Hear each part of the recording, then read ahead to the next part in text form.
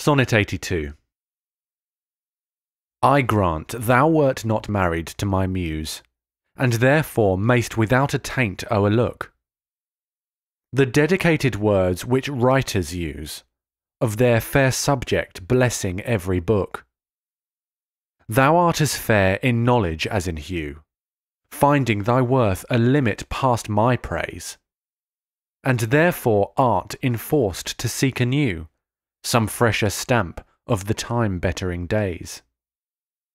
And do so, love, yet when they have devised what strained touches rhetoric can lend, thou truly fair wert truly sympathized, in true plain words, by thy true telling friend. And their gross painting might be better used, where cheeks need blood, in thee it is abused.